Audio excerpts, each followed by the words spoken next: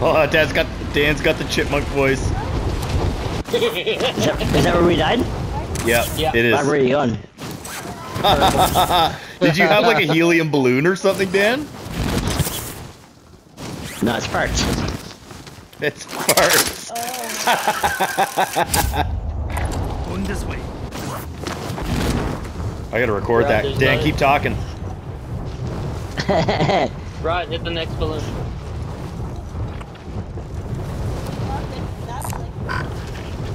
Fuck, I can see Rod down there.